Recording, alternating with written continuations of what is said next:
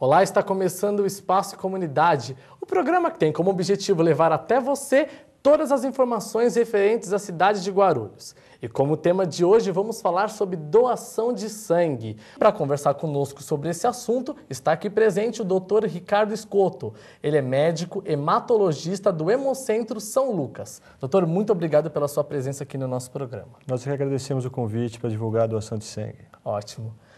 Hoje em dia, a falta de doadores de sangue tem sido precária.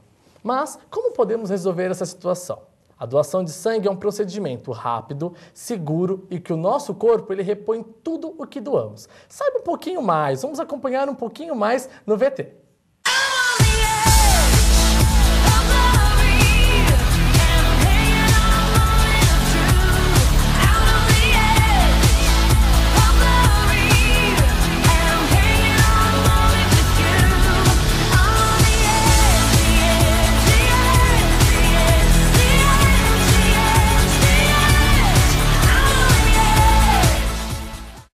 População em geral não tem informação sobre a importância de uma doação de sangue. E elas não dão porque elas não são solicitadas. Né? Então, cada vez mais, essas pessoas precisam ser sensibilizadas para poder fazer esse ato voluntário que é a doação de sangue.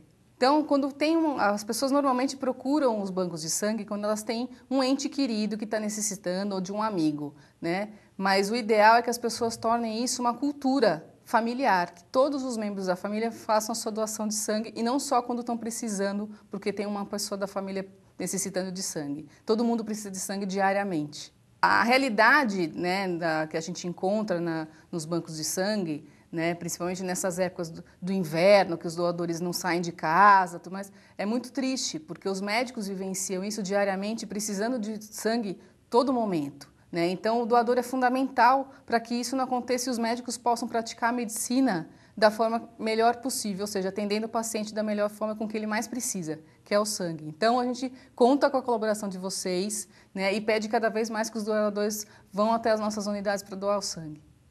Doutor, essas imagens que a gente acabou acompanhando é do, é do, do Hemocentro de vocês, de São Lucas, do né? Do nosso posto de coleta. Ótimo. Doutor, hoje em dia, quem mais necessita de doação de sangue? Os pacientes que se submetem a grandes cirurgias e aqueles que fazem tratamento quimioterápico, né, tratamento para algum tipo de câncer. Ótimo. E aqui em Guarulhos, quais são os locais né, para fazer a realização de doação? O nosso posto de atendimento à população de Guarulhos fica localizado no Hospital Carlos Chagas. Né? Nós atendemos de segunda a sexta, das 8 horas da manhã às 5 horas da tarde. Tá.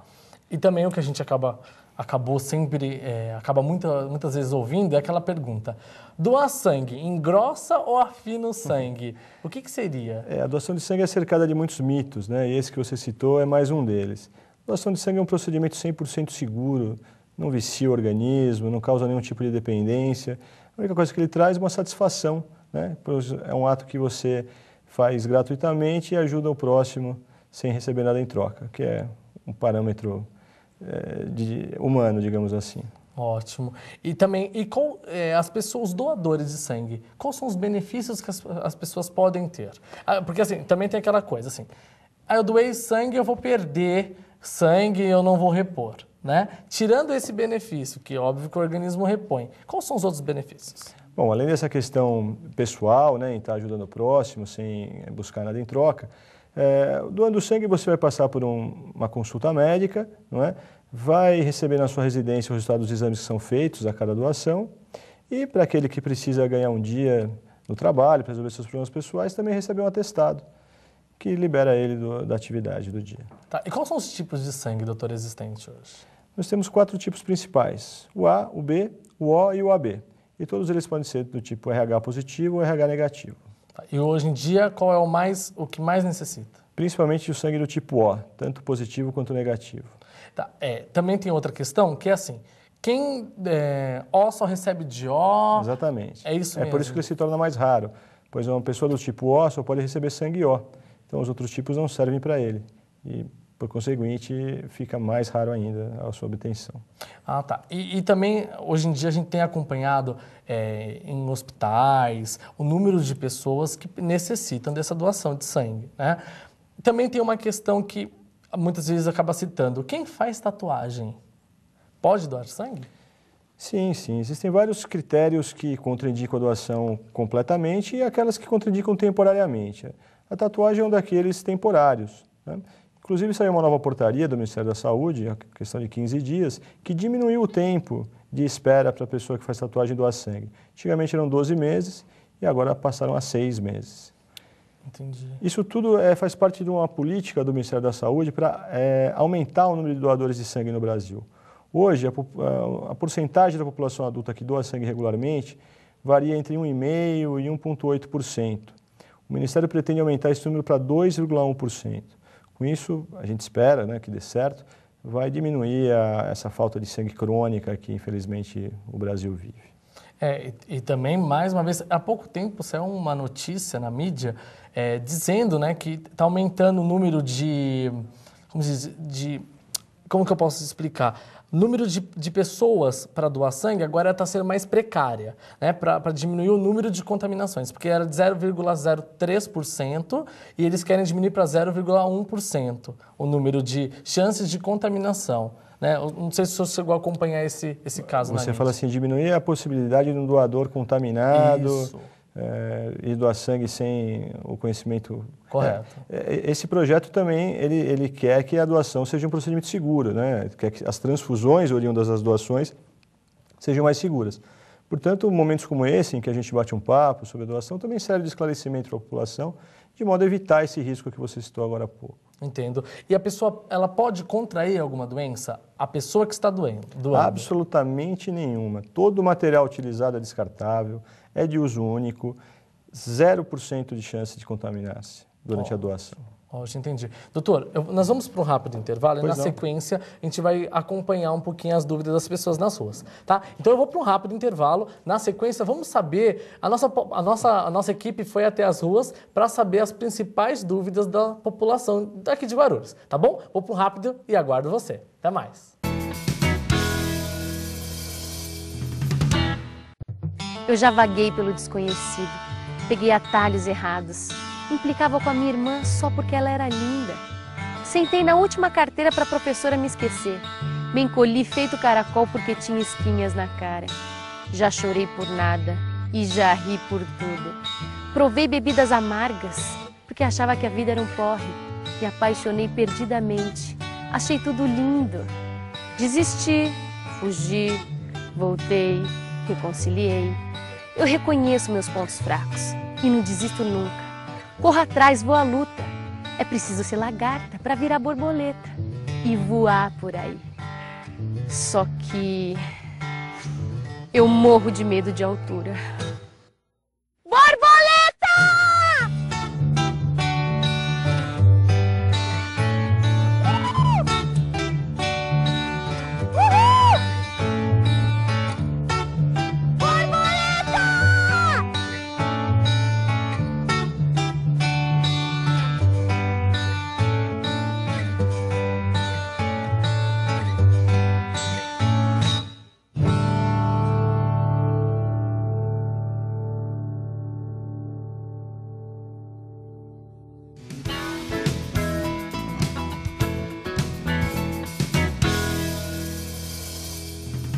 Estamos de volta com o Espaço Comunidade e hoje falando sobre doação de sangue. São muitas as pessoas que necessitam da doação de sangue e espero que essa reportagem possa levar até você a vontade de acabar doando sangue para as pessoas que mais necessitam, né? E estamos contando hoje com a presença do Dr. Ricardo Escoto, que é médico hematologista aqui do Hemocentro São Lucas. Doutor, no primeiro bloco a gente acabou conversando, né, sobre alguns tópicos aí de algumas dúvidas das pessoas. E quem toma medicamento? Né? Quais são os medicamentos que impedem a pessoa de doar sangue? Olha, o medicamento em si eh, raramente contraindica a doação. O problema é a doença que faz com que a pessoa tome o medicamento. E a lista é muito extensa, temos dezenas de doenças que contraindicam a doação. O que eu recomendo, se a pessoa tiver dúvida, é que ela entre em contato conosco. Posso citar o telefone? Por favor através do telefone 3660 6000, que uma das nossas atendentes irá ajudá-lo a esclarecer essa dúvida, porque a lista realmente é muito grande. Vamos falar das mais comuns, né, que afetam a maior parte da população. Por exemplo, gripe, resfriado, contraindica. Enquanto você estiver é, com os sintomas, você não deve procurar o, o hemocentro. Fique em casa, se recupere, depois que estiver ok, você vai doar. Nas, no, nas, pessoas um pouco mais velhas, diabetes, pressão alta são as doenças muito comuns. Se estiver bem controlado, normalmente pode doar. Mas depende do medicamento que você toma, pode ser que contraindica. Aí volto novamente, entre em contato conosco para que a gente esclareça a sua dúvida. Tá. E é, quando a pessoa vai doar sangue, quanto é extraído? Quanto é tirado do, do, corpo da pessoa, normalmente? Um mínimo de 400 e um máximo de 500 ml. 500 ml. Em média, 450. Ótimo. E, então vamos lá agora saber as dúvidas das pessoas nas ruas, tudo pois bem? Não, vamos lá. Então vamos lá. Primeira pergunta, vamos ver. Quais exames são feitos?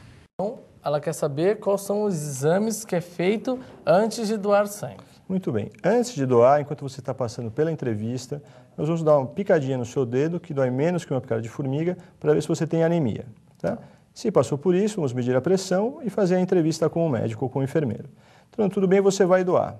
Após a doação, nós coletamos alguns tubinhos, algumas amostras que são enviadas para o laboratório para a realização dos outros testes. Quais são eles? HIV, hepatite B, hepatite C, doença de Chagas, sífilis e eletroforese de hemoglobina além de uma pouco conhecida, que não tem nada a ver com HIV, mas que se chama HTLV. É um outro tipo de vírus que também pode ser transmitido é, pela transfusão de sangue. Ah, entendi. Vamos lá, para a próxima pergunta. Com que frequência posso doar sangue? Interessante. Qual a frequência boa, que ela pode? Pergunta. As mulheres podem doar três vezes por ano né? em média uma vez a cada quatro meses. E os homens quatro vezes por ano, em média uma vez a cada três meses. Ah, então o homem pode doar mais. É, a mulher é, tem a questão da menstruação, então ela tem naturalmente uma perda que o homem não tem e, portanto, ela se recupera um pouco mais é, é, em relação ao sangue doado. Entendi. Vamos lá para a próxima pergunta. A partir de qual idade e peso que eu posso doar sangue? Muito bem. Antes da publicação dessa portaria que eu citei agora há pouco, a idade mínima para a doação de sangue era de 18 anos, a idade máxima de 65. Visando ampliar o universo de doadores, o Ministério alterou esses limites. Então, a idade mínima hoje para doação são 16 anos. Porém, entre 16 e 18, o menor tem que estar acompanhado de um dos seus pais para que ele autorize a doação. E a idade máxima pulou de 65 para 68. Em relação ao peso, o peso mínimo são 50 quilos. 50 quilos. Exatamente. Tendo 50 quilos já pode doar tranquilamente. 50 para cima, pode ver. Que bacana. E também outra, outra doença que a gente acaba vendo, é, entre aspas, podemos dizer que é raro, mas existe, que é a doença de lúpus, né? Quem tem pode doar sangue? Não, quem possui uma doença autoimune, é, geralmente não pode doar. É, são doenças que, não, não tanto por causar um problema para a transfusão, ou seja, para o paciente, e sim para ela mesma isso pode acabar afetando o seu sistema imunológico e é, fazer com que a doença recrudesça ou, ou piore. Tá. E por que, na, na, opinião do senhor, por que, que o senhor acha que hoje em dia a população está um pouco meio que evitando de doar sangue?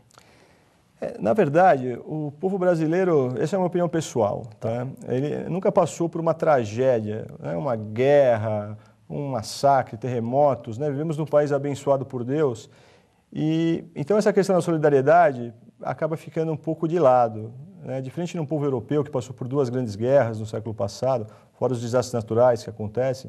Então, lá, por exemplo, a, a porcentagem da população adulta chega a 5%, contra 1,5% da brasileira. Agora, isso é uma opinião pessoal. Nada que um pouco de informação não possa reverter. Então, programas como esse, notícias em jornais, em mídia, vão sensibilizando as pessoas. E aí é uma cadeia, né? Você é sensibilizado, doa, gosta da experiência, conversa com dois, três amigos seus, um ou dois vão e essa cadeia vai aumentando. Então é importante que estejamos aqui discutindo o assunto para que ele fique sempre na mídia e assim as pessoas vão, vão tornando isso um hábito, não é? Ótimo. E vai passando de geração para geração. E essa a falta de doadores de sangue é só no Brasil que é menos ou também em questão é, no exterior, assim, também tem essa, essa falta. Sim, sim. É, todos os países trabalham fortemente na campanha de captação de doadores, pois mesmo os países desenvolvidos, com maior grau de solidariedade, também acabam passando dificuldades, não é? Então, mundialmente, existem campanhas para que as pessoas doem sangue. Ótimo. Doutor, eu queria que o senhor deixasse, se tiver algum e-mail, site e o telefone mais uma vez para as pessoas que estão nos assistindo possam entrar em contato. Possui algum para deixar para gente? Lógico. Então, o Hemocentro São Lucas atende aqui em Guarulhos, no Hospital Carlos Chagas, é nosso posto de coleta na cidade. Tá? E os contatos podem ser feitos pelo site www.hemocentrosaolucas.com.br ou pelo telefone 3660-6000. Tá. Doutor, é, tem mais uma pergunta, Quantas tá? você Que a gente vai, vai- fazer que as, as as pessoas nas ruas ainda têm mais uma dúvida. Pois não. Fazer mais uma e na sequência a gente vai encerrar o nosso programa, tudo bem? Ok. Vamos lá, mais uma pergunta. hepatite pode doar sangue? Muito bem, uma pergunta importante. Quem já teve hepatite pode doar sangue? Vamos lá, existem vários tipos de hepatite, né? As mais comuns é hepatite A, hepatite B e hepatite C. Quem já teve hepatite A pode doar tranquilamente, que é uma doença que em 100% dos casos é eliminada. E como vamos saber que tivemos hepatite A? Ou através de um teste, ou se tivemos hepatite até os 10 anos. Até os 10 anos, a maior parte das eh, contaminações por vírus de hepatite são do tipo A. Então, nesse caso, você pode doar tranquilamente. Porém, se sabidamente você teve hepatite do tipo B ou C, ou contraiu hepatite após os 10 anos, aí você não pode doar. Não pode doar. Não pode. Entendi. Doutor, eu quero agradecer a sua presença aqui no Imagina. nosso programa. Eu tenho certeza que, assim, cada um das pessoas que estão nos assistindo se comover, seja uma pessoa que for, já vai poder salvar uma outra pessoa e assim vão fazer uma corrente para poder né, salvar essas pessoas que mais necessitam. Talvez amanhã pode ser um de nós que esteja necessitando do- de doação de sangue e vai encontrar um não. Então, não. A partir de hoje, vamos, vamos doar. É por isso que eu agradeço a oportunidade que você nos deu em trazer esse assunto à discussão. Ótimo. E toda vez que tiver novidades, por favor, quero que o senhor comunique aqui pra gente. A porta do, do nosso programa sempre vai estar aberta para o senhor e para o centro, de- o Hemocentro São Lucas. Obrigado Tá mais bom? uma vez. Quero agradecer também a presença de vocês aí de casa que acompanhou o nosso programa. Se você tem dúvidas, sugestões aqui para o nosso programa, é muito simples. Basta mandar um e-mail para tv.ung.br ou também ligar aqui para o nosso estúdio, 2464-1796. Eu quero deixar um abraço todo especial para as pessoas que estão mandando os e-mails aqui para gente. No próximo programa eu vou ler aqui, vou citar o nome de algumas pessoas, tá bom? Um forte abraço e até o próximo programa. Tchau!